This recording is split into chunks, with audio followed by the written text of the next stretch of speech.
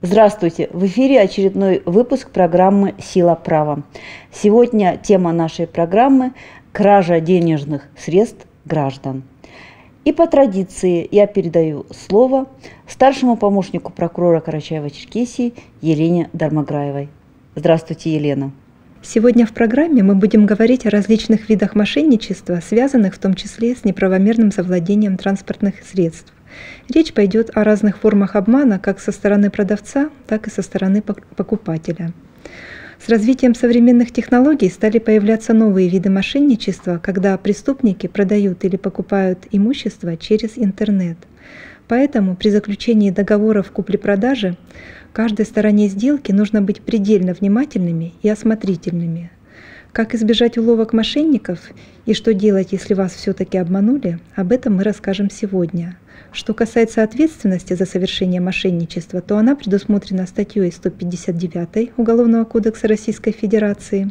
В качестве мер наказания установлены наложение штрафов, исправительные и обязательные работы, лишение свободы.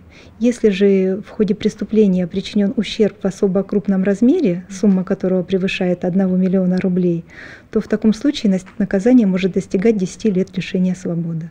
Денис Григорьевич, скажите, кем и как часто совершаются подобные преступления?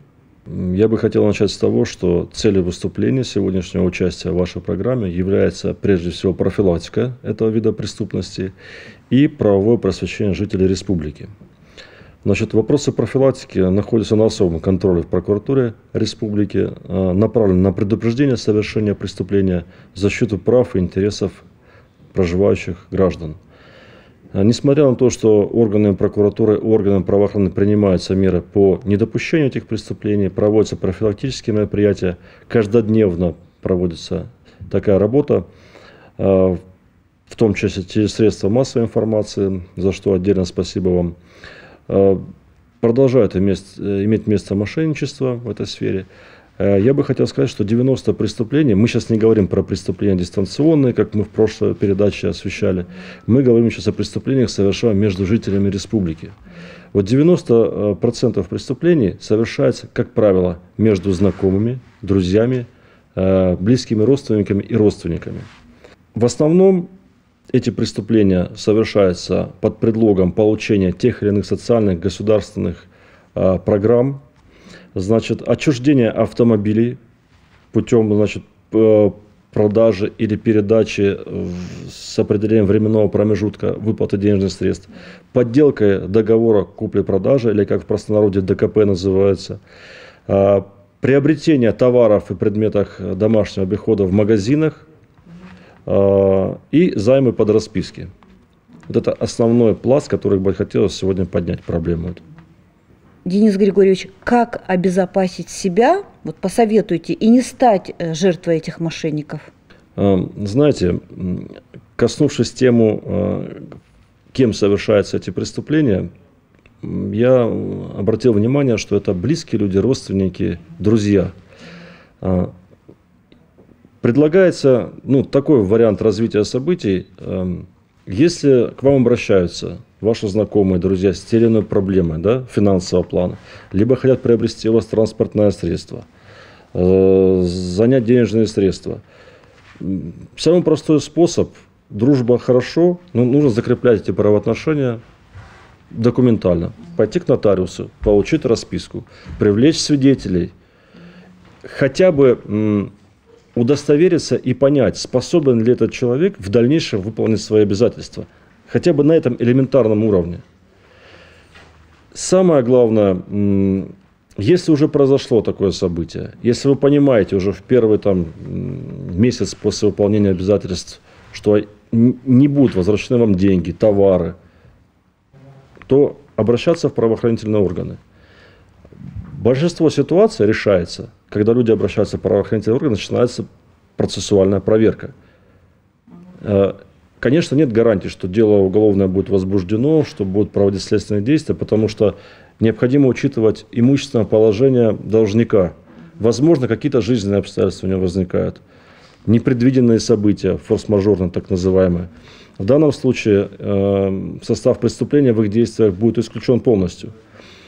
Но хотелось бы на это надеяться, но в большинстве случаев все-таки э, не возвращаются, не исполняются обязательства, и они не планировалось их исполнять тогда, когда он их брал на себя. Чем быстрее люди обращаются в органы правоохраны, тем более вероятная возможность эти деньги вернуть. Как вот мы анализировали на днях с коллегами с МВД, люди обращаются через год, через два, через три за помощью восстановить свои права. Это проблематично, время упущено. Процесс э, добычи доказательств. Многие э, граждане уже не существуют на этом белом свете. То есть опровергнуть, подтвердить, защитить права потерпевшего очень сложно бывает. А, распространен э, способ мошенничества, такой, как связанный с транспортными средствами. А, пример. Значит, при жизни человек передает транспортное средство, ну, образно говоря, там э, Николай передал Геннадию транспортное средство под условием выплаты денежных средств. Владелец машины умирает, а, соответственно, денежные средства родственника не возвращаются, транспортное средство во владение обратно не возвращается. А, идут на уловки, подписывают так называемым задним числом договора купли-продажи, что якобы продал, денежные средства он получил. Как правило, проверить этот факт ну, тяжело. Хорошо, когда у родственников на руках остались подлинники э, документов, э, так называемые ПТСы.